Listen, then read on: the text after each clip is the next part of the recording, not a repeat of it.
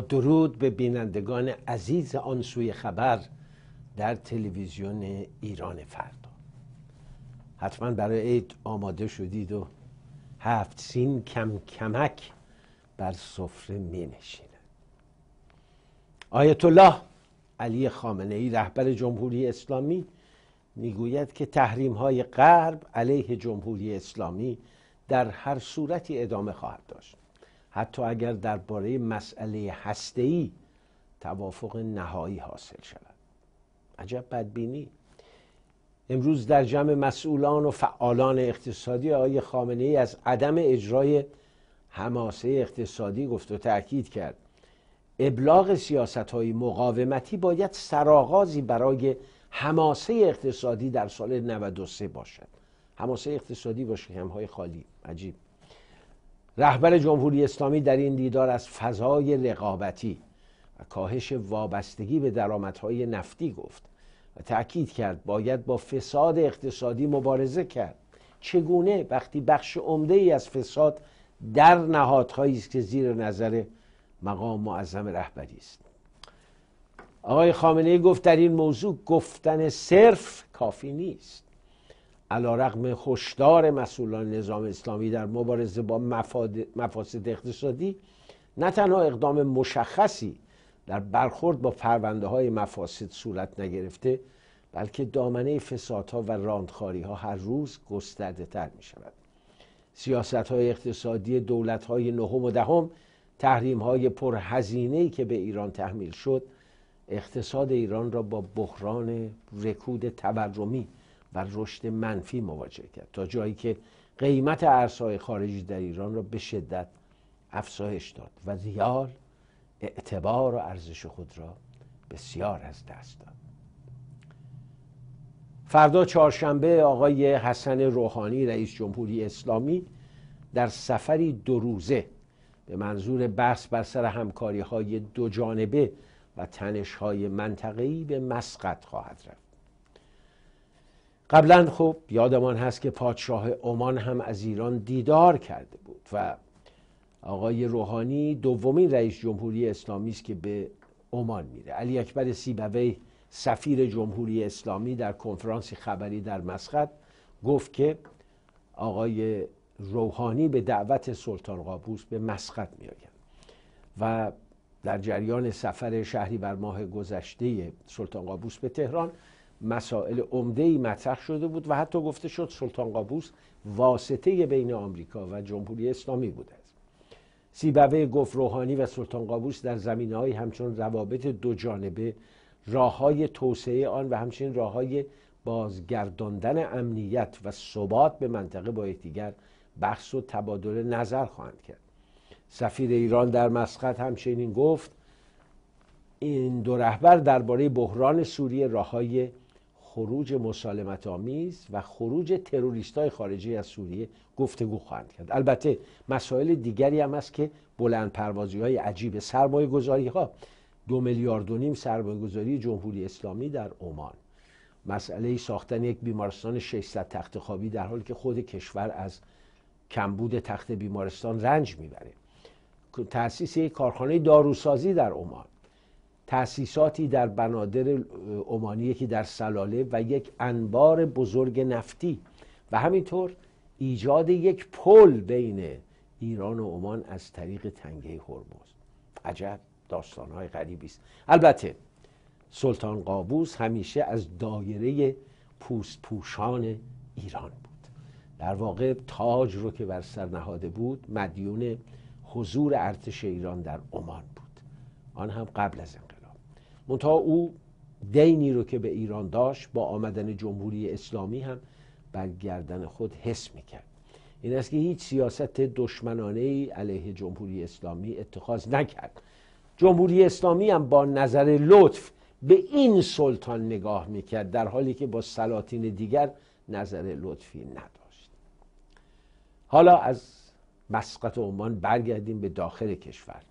به سخنان دبیر کل جمعیت رهپویان انقلاب گوش بدیم. آقای علیرضا زاکانی.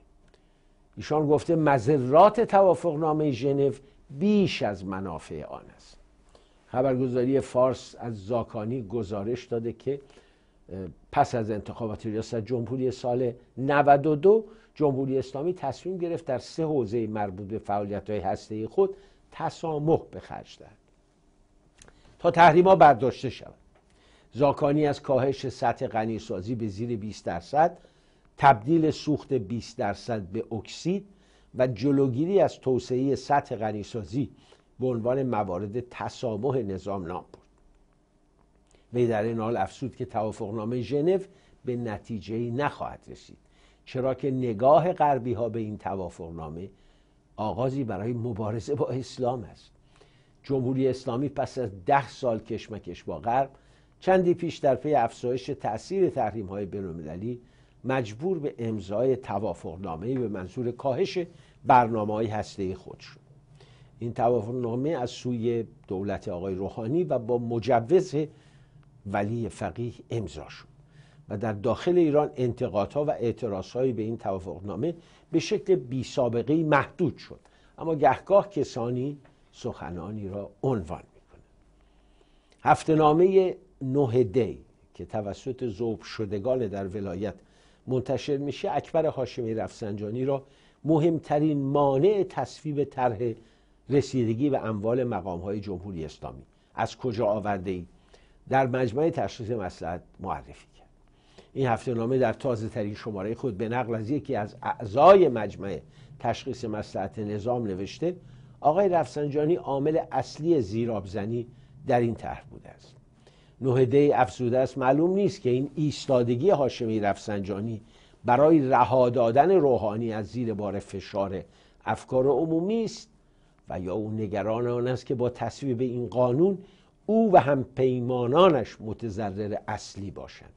شگفتا هیچ اشاره در این ماجرا به مقام معظم رهبری 90 میلیارد دلار و دیگر دارایی های ایشان نمیشه. اما در یک بخش دیگری از این گزارش نوهده میگه از دارایی های 950 میلیارد تومانی وزیر صنعت و معدن و تجارت دولت حسن روحانی خبر داد. یعنی آقای نعمتزاده. و نوشته چهار شرکت خارجی به نام محمد رضا نعمتزاده ثبت شده است. نهده دارایی های حسن هاشمی وزیر بهداشت و دربان دولت یازدهم را نیز بیش از هزار میلیارد تومان برآورد کرده است که این هم باعث بروز حاشیه هایی برای وی شده بود. موضوع رسیدگی و اموال و دارایی های مقامات و مسئولان و کارگزاران نظام در مجلس هفتم و هشتم مطرح و به شورای نگهبان رفت و شورای نگهبان هم به این تر ایراداتی وارد کرد. سرانجام این تر با اصرار نمایندگان مجلس هشتم به مجمع تشخیص مسلحت نظام فرستاده شد که تاکنون مجمع نظر خود را در این باره اعلام نکرده است. خب منتظر میمونیم. انشاءالله با ظهور حضرت همه می‌فهمند که دارایی های این افراد چقدر حسن روحانی رئیس جمهوری در دیدار با برخی از نمایندگان مجلس خواستار تعامل دو قوه مقننه و مجریه با دوستی شد. گفت مجلس دائما از دولت انتقاد نکند. بلکه موفقیت های دولت را هم ببیند و آن را اعلام کند. مجلس شورای اسلامی که در اختیار محافظ کاران مخالف دولت است از ابتدای روی کار آمدن های روحانی بارها نسبت به اقدامات تیم دولت انتقاد کرده. به برخی از وزرا هم کارت زرد داده. کارت قرمز رو هم بالا برده. گزارشی در این زمینه داریم که توجه شما رو به اون جلب حسن روحانی در دیدار با اعضای فراکسیون رهروان ولایت مجلس با اشاره به اینکه دولت در آغاز کار با مشکلات فراوانی در کشور روبرو بوده گفت تلاش دولت در جهت رفع برخی مشکلات کاملا موفق بوده و در دیگر موارد هم حرکت ها رو به جلو بوده است. به گزارش پایگاه اطلاع رسانی ریاست جمهوری وی خطاب به مجلس گفته است نهاد قوه مقننه باید خوبی های دولت را هم ببیند و به گفته او هر مقدار تعامل میان دولت و مجلس بیشتر باشد به نفع مردم خواهد بود. رئیس جمهوری اسلامی با بیان اینکه دولت و مجلس باید به قانون عمل کنند و آن را مبنا قرار دهند گفته است رأس اعتدال که شعار دولت تدبیر و امید است قانونگرایی است و در این راستا هر طرح و لایحه‌ای که در مجلس به تصویب برسد و مورد تایید شورای نگهبان باشد اگرچه با نظر دولت کاملا منطبق نباشد دولت آن را اجرا خواهد کرد. رئیس دولت در بخش دیگری از سخنان خود با اشاره به توافق ژنو و سیاست خارجی دولت هم افزوده است. دولت در حوزه سیاست خارجی تاکنون قدم های مناسبی را برداشته و در حال برداشتن گام های جدید برای توافق نهایی است. روحانی با اشاره به سفر اشتون به تهران گفت امروز شاهد استقبال جهان از جمهوری اسلامی هستیم.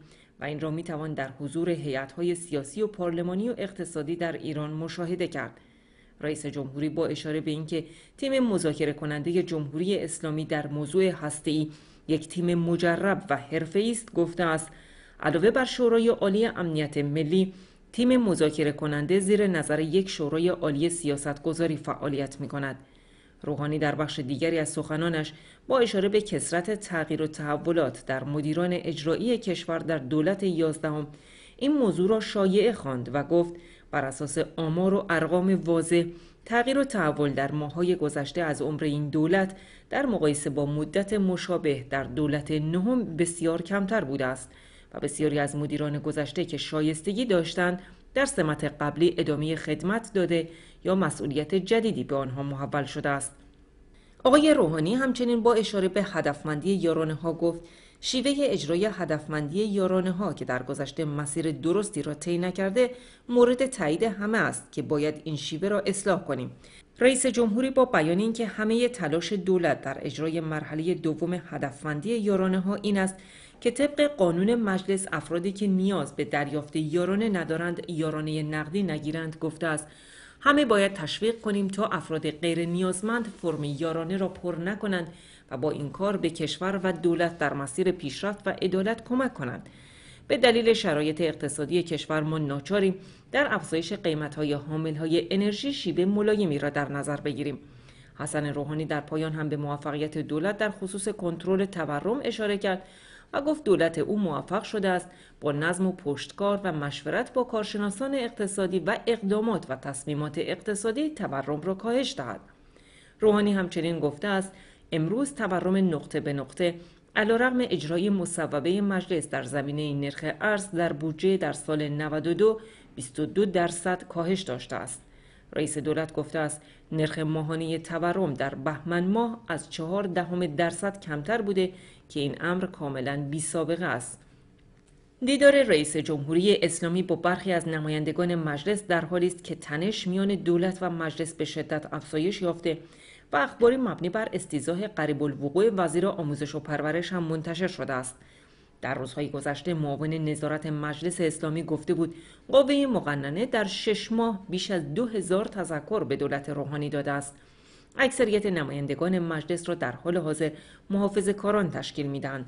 اما نمایندگان عضو جبهه پایداری که گروهی وابسته به محمد تقی مصباح یزدی هستند منتقد سرسخت دولت و از کسانی هستند که طرحهای استیزاه و سوال از وزرا و تذکر به تیم دولت را ترتیب می‌دهند. نزاع لفظی بین عربستان سعودی و نوری المالکی ادامه داره. نمیگم دولت عراق چون به حال آقای نوری المالکی بخشی از دولته و او به تنهایی است که تصمیم می‌گیره و یه روز جنگ می‌کنه با در فلوجه روز دیگه جنگ می‌کنه در انبار و روز دیگه با کشورهای همجوارش. مهم جلب رضایت ولی فقیه در تهران است که حتی آقای مالکی برای این کار کروات خود را نیز باز کرد تا شبیه مسئولان جمهوری اسلامی شود. گویا که بسیاری از وزرای او از سرسپردگان سابق و لاحق جمهوری اسلامی است آقای نوری المالکی چند روز قبل به شدت عربستان و قطر رو مورد حمله قرار داد و گفت اونها از تروریستا حمایت می‌کنند. درست در زمانی که عربستان گروه های تروریستی مورد نظر آقای مالکی رو به عنوان سازمان های تروریستی اعلام کرده بود. داعش، جبهه نصرت، حزب الله سعودی و اخوان المسلمین و دیگران. بنابراین سعودی که خود هدف این تروریستا هست به آقای مالکی پاسخ تندی داد و گفت آقای مالکی به جای اینکه این حرفا رو بزنن بهتر از تدابیری برای پایان دادن به هر جمج و درگیری های فرقه‌ای در کشورشان اتخاذ کنه. آقای مالکی در مصاحبه‌ای که با فرانس 24 انجام داد قطر و عربستان رو متهم کرد که در کشورش آشوب به راه انداختن. قطر واکنشی هنوز نشون نداده. ولی در این حال به مقتدا صدر هم حمله کرد و همین مسئله باعث شد در ظرف دو روز گذشته طرفداران مقتدا صدر در مدینه صدر یا مدینت و صدام پیشین در بغداد و در نجف و کربلا تظاهرات گسترده ای رو علیه مالکی به راه اندازند. در این تظاهرات شعارهای علیه مالکی بود از جمله تصویری از صدام رو درست کردن با همون ریش مالکی در وسط که مالکی نیز تبدیل به صدام دیگری شده است. آقای دکتر عیاد علاوی برنده برحق انتخابات پارلمانی گذشته عراق که به علت وتو جمهوری اسلامی نتونست دولت رو تشکیل بده خواستار سرنگونی مالکی شد و گفت او باید کنار رود و یک دولت موقت بیاید و با بیطرفی انتخابات را اجرا کند چون هیچ اعتمادی به مالکی وجود ندارد. قبلا مالکی در جبهه شیعیان متکی به وحدت نیمبندی بود که به تلاش سردار قاسم سلیمانی فرمانده سپاه قدس و دستیارانش در عراق از جمله آقای حسن دانایفر سردار سپاه قدس به وجود آمده بود. جمع کردن حکیم و صدر و مالکی و بقیه جعفری و دیگران برای اینکه بتوانند یک اتحاد نیمبندی درست کنند. ولی به مرور این اتحاد از هم گسه است و همکنون شیعیان بخشای عمدهشون علیه آقای مالکی متفق شدند. کردها نیز از اون ناراضی هستند. تکلیف سنی ها هم که مشخص است. در این میان گفته می شود جمهوری اسلامی تهدید کرده. اگر در انتخابات آینده کسی غیر از مالکی پیروز شود جمهوری اسلامی تقاضای دریافت قرامات جنگی از عراق خواهد کرد. قراماتی که بیش از هزار میلیارد دلار پیش بینی شده. و آقای رفسنجانی اخیرا به این قرامات اشاره کرد. بعضی همین اشارات رو نشانه آن می‌دانند که در سر جمهوری اسلامی تصوراتی در حال پخته شدن است. بریم حالا اون سوی دنیا. در مالزی حادثه سقوط هواپیما. چند روز بعد از ناپدید شدن این هواپیمای مسافربری هنوز اثری از آن پیدا نشده. چینی ها ماهواره فرستادن ویتنامی ها نیروی هواییشون رو آمریکایی هستند در آخرین خبرها درباره سرنوشت این هواپیما مدیرعامل سازمان هواپیمایی مالزی در کنفرانسی گفته که نتیجه آزمایش لکه های نفتی که نیروی دریایی ویتنام گزارش مشاهده آن را داده بود نشان داده که این لکه ها ارتباطی با سوخت هواپیما ندارد در همین رابطه روزنامه Financial Times چاپ لندن به نقل از آژانس مسافرتی تایلندی فروشنده دو بلیت هواپیمای ناپدید شده مالزی می‌گوید یک مرد ایرانی این دو بلیت را برای دو مسافر با گذرنامه های جعلی خریده بود. از سوی دیگر رئیس پلیس مالزی می‌گوید که یکی از مسافرانی که با گذرنامه جعلی سوار هواپیما شده یک مرد ایرانی 19 ساله به نام پوریا نور محمد بوده که هیچ ارتباطی با سازمان تروریستی نداشت و به نظر می رسد برای دریافت پناهندگی آزم آلمان بود. مادر فرد ناپدید شده در فرودگاه فرانکفورت در انتظار پسرش و به دلیل نگرانی از وضعیت او برای کسب اطلاعات با پلیس مالزی تماس گرفت. گفته می شود که پوریا نور محمد همراه با یک ایرانی دیگر به نام سید محمد رضا دلاور آزم پکن بودند و پلیس مالزی نیز تصاویری از این دو نفر را در اختیار دوربین فرودگاه که با دوربین فرودگاه گرفته شده در اختیار خبرنگاران قرار داد. چقدر تلخه دو جوان ایرانی برای گریختن از کشوری که زندگی در اون براشون مشکله به این ترتیب به مالزی میرن بعد به چین بعد از چین با گذرنامه جعلی می‌خوان برن به اروپا تا بتونن پناهنده بشن. تلخ و دردناکه سرنوشت ملتی مغرور و سربلند که گذرنامهش در همه جای دنیا فراتر از هر گذرنامه پذیرفته می‌شد و هیچ نیازی نبود تا گذرنامه جعلی به دست بگیره. تا بتونه به کشوری وارد بشه آقای سرگئی لاوروف وزیر خارجه روسیه می‌گوید که از جانکری وزیر خارجه آمریکا دعوت کرده بود تا روز دوشنبه برای گفتگو درباره اوکراین به مسکو برود. اما ظاهرا آقای کری این تقاضا رو رد کرده. البته نگفت رد کرده گفته که به تعویق انداخته تا فرصت بیشتری برای مطالعه داشته باشه. در همین حال قرار است آقای آرسنی یاتسینیوک نخست وزیر موقت اوکراین فردا چهارشنبه در واشنگتن با باراک اوباما دیدار و گفتگو کنند این در حالی است که نمایندگان پارلمان کریمه امروز سهشنبه به جدایی این شبه جزیره از اوکراین رأی مثبت دادند.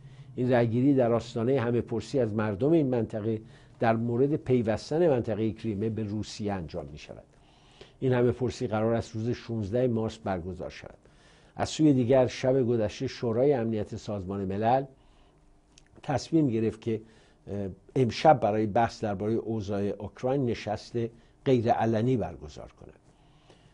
یک مقام اتحادیه اروپا نیز از آغاز تهیه طرحی برای اعمال تحریم علیه روسیه خبر داده و گفته ممکن است در صورتی بی نتیجه بودن مذاکرات بین مسکو و کیف این طرح تصویب شود.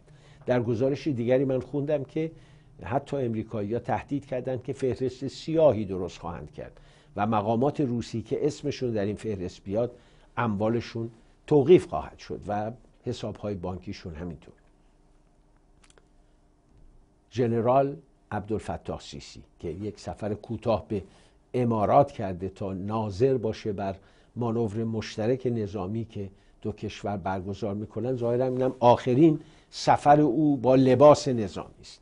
قرار است که یک سخنرانی مهمی ایراد کنه و طی این سخنرانی استعفای خود را از سمت وزارت دفاع اعلام و بعد یک, من... یک روز بعد به قول یک منبع مصری وزیر دفاع در سخنرانی خود به خواست مردم برای نامزدی در انتخابات پاسخ مثبت خواهد این منبع آگاه در ادامه گفته که وزیر دفاع چهارشنبه استعفای خود را طی نشستی در جلسه دولت به نخست وزیری ابراهیم مهلب به طور رسمی ارائه خواهد کرد و بعد استعفا تقدیم رئیس جمهوری می شود. در این حال انتظار می رود امروز یا حداکثر فردا نشست شورای عالی نیروهای مسلح به ریاست اسیسی برگزار شود و وی در این نشست جانشین خود را برای وزارت دفاع اعلام کند. بنابراین گزارش بر اساس قانون اساسی مصر استعفای وزرای دولت باید در ابتدا به نخست وزیر تقدیم شود و پس از آن نخست وزیر آن را به رئیس جمهوری ارائه می مسئول سیاست خارجی اتحادیه اروپا خانم کاترین در پایان سفر به ایران با انتشار بیانیه اعلام کرد که بخش عمده ای از مذاکراتش با مقامات ایرانی بر روی مسئله حقوق بشر متمرکز بود. تردید ندارم. ایشون در گفتگو با آقای ولایتی و آقای سعید جلیلی رو این دو مسئله تاکید بیشتری کرده که پیامش به گوش نایب امام زمان ولی فقیه آقای خامنه ای برسد. در همین حال تعدادی از نمایندگان اصولگرای مجلس یکی از فرماندهان نظامی و وزارت امور خارجه از دیدار مسئول امور خارجه و سیاست دفاعی اتحادیه اروپا با مادر ستار بهشتی و خانم نرگس محمدی به شدت انتقاد کردند. خانم اشتون که برای نخستین بار به منظور گفتگو در مورد پرونده هسته‌ای و همکاری ایران و اروپا و دیگر مسائل منطقه و بین‌المللی به تهران سفر کرده بود روز شنبه 17 اسفند ماه که همزمان با روز جهانی زن بود در سفارت اتریش با تعدادی از فعالان زن ایرانی دیدار کرد. گزارشی در این زمینه داریم که توجه شما را به اون جلب می‌کنه. مسئول سیاست خارجی اتحادیه اروپا در پایان سفر به ایران با انتشار بیانیه اعلام کرد که بخش عمده از مذاکرات وی و مقامات ایرانی بر روی مسئله حقوق بشر متمرکز بود. به گزارش رویترز خانم اشتون در بیانیه خود در خصوص دیدارش از ایران نوشت من با فعالین زن در روز بین المللی زن دیدار کرده و درباره وضعیت زنان و نیز برخی از کارهایی که این زنان از روزنامه نگارها گرفته تا پناهندگان افغان و افرادی که در جامعه مدنی فعالیت می کنند سخن گفتم و سپس تفکر درباره برخی از مسائل منطقه برای مثال چالش های واقعی تجارت مواد مخدر در افغانستان که ایران در این حوزه با مشکلاتی مواجه است. مسئول سیاست خارجی اتحادیه اروپا با بیان اینکه مسئله اصلی مورد گفتگو بحث هسته‌ای بوده گفت مایه دلگرمی بود که ما توانستیم درباره برخی از این مسائل به صورت صادقانه گفتگو کنیم و امیدوار هستم که اگر در مذاکرات موفق شویم قادر خواهیم بود تا به سمت طیفی از مسائل مختلف با ایران حرکت کنیم. کاترین اشتون دوشنبه شب پس از دیدن بناهای تاریخی اصفهان این شهر را به مقصد عمان ترک کرد. در همین حال محافظه کاران به شدت به دولت حسن روحانی برای دیدار کاترین اشتون با برخی از فعالان حقوق بشر انتقاد کردند. قاسم روانبخش نماینده مجلس و عضو جبهه پایداری گفت اگر اشتون با اطلاعات و مواردی که در دیدار با فعالین فتنه در تهران جمع آوری کرده است مذاکرات را به سمت مسائل حقوق بشری ببرد ملت ایران دستگاه دیپلماسی و امنیت کشور را مؤاخذه می کنند. روانبخش افسوده اقدامات و دیدارهایی که هیئت پارلمانی اروپا و اشتون با فعالین فتنه و فمینیست ها در ایران داشتند در راستای نجات جریان اصلاحات از طریق تقویت جنبش زنان است. حمید رسایی نماینده محافظه کار مجلس همچنین دولت حسن روحانی را دولتی تحقیر شده نامید و گفت بدون تردید دیدار کاترین اشتون با شماری از فعالان حقوق زنان با اطلاع و هماهنگی طرف ایرانی صورت پذیرفته است. وی افزوده وقتی دستگاه دیپلماسی ما دست گلی مثل توافقنامه ژنو به آب می‌دهد ملاقات اشتون با فتنگران در برابر آن چیزی نیست.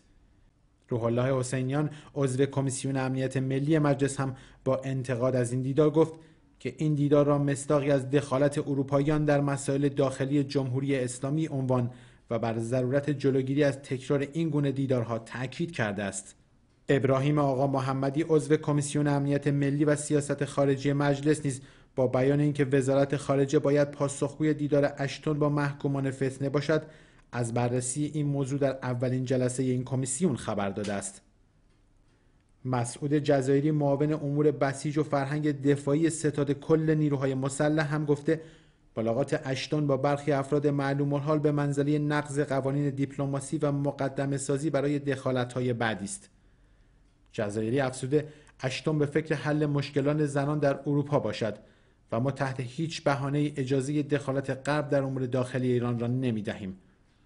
در همین حال وزارت امور خارجه هم در واکنش به انتقادات نمایندگان مجلس و معاون ستاد کل نیروهای مسلح از برگزاری این دیدار گفته که به سفارت اتریش در تهران تذکر رسمی داده شده و افسوده که برخی نامه های غیر رسمی و هماهنگ نشده در جریان سفر کاتینشتون مبنی بر نگاه متأثر از برخوردهای گزینشی سیاسی و دوگانه از مقوله مبهم حقوق بشر است. بر اساس گزارش ها دیدار خانم کاترین اشتون در سفارت اتریش و میان هفت نفر از فعالان زن برگزار شد که نرگس محمدی روزنامه نگار و فعال حقوق بشر که همکنون در مرخصی بیرون از زندان به سر می‌برد و گوهر عشقی مادر ستار بهشتی کارگر وبلاگ نویسی که در زندان کشته شد دو تن از شرکت کنندگان در آن بودند. دو روز بعد از انتقاد آقای احمد توکلی نماینده اصولگرای مجلس از آنچه که وی تحمیل چهار شرکت آمریکایی به ایران از سوی پنج به اضافه یک خان. آقای عباس عراقچی معاون وزارت خارجه و عضو ارشد تیم مذاکره کننده هسته‌ای با رد این موضوع گفت که جمهوری اسلامی طرفهای مقابل تجارتیش را خود انتخاب می‌کنه. خبرگزاری ایسنا گفته عباس عراقچی درباره موضوع اجبار ایران به خرید و واردات از کشورهای خاص در قالب طرح اقدام مشترک ژنو گفت که ایران برای تأمین کالاهای مورد نیاز خود محدود به واردات از هیچ کشور خاصی نیست. معاون وزارت خارجه همچنین افزود محدودیت هایی بر اساس تحریم های غیر عادلانه در سالهای گذشته بر تجارت کشورمان تحمیل شده که در چارچوب توافق ژنو بخش قابل توجهی از این تحریم ها در حال رفع است. این عضو ارشد تیم مذاکره کننده هسته با اشاره به مذاکرات با پنج به اضافه یک تاکید کرد. جمهوری اسلامی هیچگاه پیشنهادهایی را که کوچکترین خدشه‌ای به استقلال و عزت کشور وارد کند نپذیرفته و نخواهد پذیرفت. آقای توکلی گفته بود که بر ما قیودی نهادهاند که ما موظفیم فقط از شرکت های مشخصی خریداری بکنیم. سازمان عفو بین الملل در گزارشی تکان دهنده. یادآور شده است که سوریه از ترفند گرسنگی دادن ساکنان اردوگاه یرموک استفاده می‌کنه دست کم 128 آواره فلسطینی در این اردوگاه جان خود را از دست داده. اردوگاه یرموک در دمشق واقع است. درگیری هایی که اونجا میشه از یک طرف نیروهای وابسته به جبهه خلق برای آزادی فلسطین فرماندهی عمومی به رهبری احمد جبریل که از سر سپردگان دیرین رژیم سوریه و بعدا جمهوری اسلامی هست وارد اردوگاه شده و از طرف دیگر دیگر نیروهای فلسطینی جنبش فتح و حتی حماس کسانی هستند که با اونها مقابله می‌کنن. و دولت سوریه اصرار داره سلطه خود رو بر این اردوگاه که در یک ناحیه بسیار مهم استراتژیکی واقع است برقرار سلطه سوریه وجود نداره درگیری در اونجا شدیده و رژیم دمشق به سیاستی متوسط شده به ترفندی که محاصره بکنه و اجازه نده غذا و آب وارد اردوگاه بشه. و روزی نیست که ای از جمله کودکان و افراد مسن در این محاصره ناجوان مردانه از بین نرن. عفو برون میگه هزاران نفر الان گرفتارن. با بحران انسانی بزرگی روبرو هستن. یونیسف هم در گزارشی گفته که بیشترین آسیب جنگ سوریه متوجه کودکان بوده است. در این زمینه گزارشی داریم که توجه شما رو به اون جلب نماینده صندوق کودکان سازمان ملل متحد یونیسف مستقر در آنکارا گفت که شمار کلی آوارگان سوری حدود 3.5 میلیون نفر است. به گزارش خبرگزاری رویترز و یبسود در طول سه سال جنگ در سوریه بیشترین آسیب متوجه کودکان این کشور بوده است. نماینده یونیسف در این خصوص افزود این جنگ به حدود 6 میلیون کودک سوری آسیب جدی وارد کرده و بیش از ده هزار نفر از صد هزار سوری کشته شده در این کشور کودکان بودند. شبکه خبری المیادین نیز هفته گذشته با استناد به یک گزارش یونیسف اعلام کرده بود که بیش از دو هزار کودک آواره سوری در اردوگاه پناهندگان در لبنان به دلیل سوء تغذیه در خطر مرگ قرار دارند. در رویدادی دیگر سازمان عفو بین الملل با انتشار گزارشی نوشت که دولت سوریه در منطقه محاصره شده یرموک در حومه جنوبی دمشق از گرسنگی دادن به غیر نظامیان به عنوان سلاح و حربه استفاده می کند. عفو بین الملل در گزارش خود در مورد یرموک که اردوگاه پناهندگان فلسطینی و سوری در آن قرار دارد نوشت که از ژانویه 2013 که ارتش سوریه محاصره این منطقه را شدید تر کرده در حدود 200 نفر جان باختند که علت مرگ 128 نفر از آنها گرسنگی بوده است. آژانس امداد و کاریابی آوارگان فلسطینی سازمان ملل گزارش داده است که با بروز جنگ داخلی و در پی آن فرار اکثریت جمعیت 170 هزار نفری یرموک همینک حدود 20 هزار نفری که در این منطقه باقی ماندند در وضعیت بدی به سر می‌برند. به نوشته عفو بین الملل دست کم 69 درصد از اهالی باقی مانده در یرموک از سوء تغذیه رنج می‌برند. به گفته عفو بین الملل طرفهای درگیر در سوریه با محاصره مناطق مختلف مسکونی حدود 250 هزار نفر از مردم این کشور را در حصر قرار دادند که در این میان محاصره یرموک مرگبارترین مورد است. این گزارش با ذکر اینکه حمله هایی که بین نظامیان و غیر نظامیان تفاوتی قائل نمی شود و مرگ و جراحت بر جای می‌گذارد جنایت جنگی است میافزاید که این اقدامات نشان دهنده پایمال کردن بیرحمانه اولیه ترین اصول قانون بشردوستانه بین المللی توسط رژیم سوریه است. عفو بین الملل در پایان گزارش خود خواستار رفع حصر از این مناطق و محاکمه عاملان جنایت جنگی در این مناطق شده است. ماه گذشته بر سر یک قطنامه شورای امنیت سازمان ملل در مورد برداشتن محاصره از مناطق مسکونی از سوی تمامی طرفهای درگیر تفاهمی به دست آمد اما مفاد این قطنامه هنوز در عمل به اجرا نیامده است بنابر آمار رسمی در حدود نیم میلیون نفر از آوارگان فلسطینی در سوریه زندگی می کنند که از ماه مارس 2011 که درگیری ها در سوریه آغاز شده نیمی از این فلسطینیان نیز در داخل این کشور آواره شدند. وقتی خود ملت سوریه هم آواره است دیگه آوارگی در آوارگی چیز بسیار دردناکی. در طول روزهای اخیر دولت دمشق با کمک حزب الله نیروهای عراقی که توسط جمهوری اسلامی آموزش دیدن و به عراق فرستاده شدن تمام تلاش خودشون رو گذاشتن متمرکز کردن که شهر یبرد رو فتح کنن منطقه قلبون رو به تصرف درارن و به این ترتیب راه بین لبنان و سوریه رو کاملا پاکسازی کنن. یه چند راهبه ای که توسط اسلامی ها دستگیر شده بودن در یک عملیات تبادل با تعدادی از زندانیان زن زندان بشار اسد با هم عوضشون کردن معاوضهشون کردن. و به هر حال اوضاع دردناکی است. همکار ما مهستان بختیاری هم گزارشی فرستاده که با پخش اون من هم از شما خداحافظی می‌کنم. بدرود می‌گویم نوروز را فراموش نکن.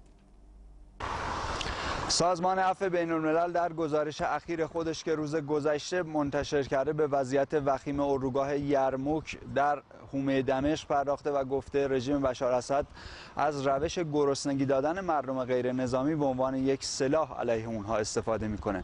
در این گزارش به این موضوع اشاره شده که تنها در طی چند ماه گذشته حدود 200 نفر در این اردوگاه جان خودشون رو از دست دادن که علت مرگ 128 نفر اونها گرسنگی بوده. آنطور که آقای فیلیپ ter مدیر بخش خاورمیانه سازمان عفو بین الملل میگه گرسنگی دادن روشی هستش که رژیم بشار اسد سعی می‌کنه به عنوان یک سلاح و حربه علیه مردم از اون استفاده بکنه. در گزارش اخیر سازمان عفو بین الملل اشاره شده به سوء تغذیه ساکنین اردوگاه و گفته شده حدود 70 درصد از ساکنین اردوگاه دچار سوء تغذیه هستن. به عنوان نمونه ساکنین اردوگاه یرموک گفتن که ما در طی چند ماه گذشته هرگز میوه و سبزیجات مصرف نکردیم. قیمت یک کیلو برنج در این اردوگاه حدود 100 دلار هستش. به همین دلیل مردم از فرط گرسنگی روی آوردن به خوردن حیواناتی همچون سگ و گربه. برق اردوگاه هم که حدودا یک سالی از قطع هستش و در کل شرایط بهداشتی بسیار وخیم این اردوگاه داره. اردوگاه یرموک پیشتر به عنوان اقامتگاهی برای آوارگان فلسطینی ساخته شده بود. اما به ویژه بعد از نارامی های اخیر در سوریه بسیاری از سوری های مخالف رژیم بشار اسد به این اردوگاه پناه آوردن. همین هم باعث شد تا بهانه‌ای باشه برای رژیم بشار اسد و این اردوگاه رو محاصره بکنه و بارها اون رو مورد حملات توپخونه و حملات هوایی قرار بده. در حال حاضر از ساکنان 170 هزار نفری این اردوگاه تنها 20 هزار نفر در این اردوگاه باقی موندن. که اونها هم در شرایط بسیار وخیمی زندگی می‌کنن. هرچند ماه گذشته شورای امنیت سازمان ملل متحد طی قطعنامه خواستار آتش بس و پایان محاصره این اردوگاه شد تا از این طریق بتونن به ساکنین این اردوگاه غذا و دارو برسونن اما هنوز اتفاق مثبتی در این زمینه رخ نداده. تلویزیون ایران فردا ترکیه.